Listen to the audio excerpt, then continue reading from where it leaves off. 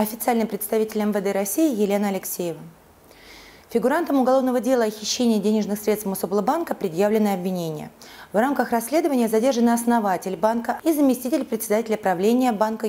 В их жилищах и ряде офисных помещениях Следственным департаментом МВД России совместно с коллегами из ФСБ проведены обыски. В настоящее время задержанным предъявлены обвинения в мошенничестве, совершенном группой лиц в особо крупном размере. Как сообщалось ранее, бывший владелец Мособлбанка совместно с его руководителями и иными сотрудниками банка, используя подконтрольные коммерческие организации, совершили фиктивные операции по счетам физических и юридических лиц.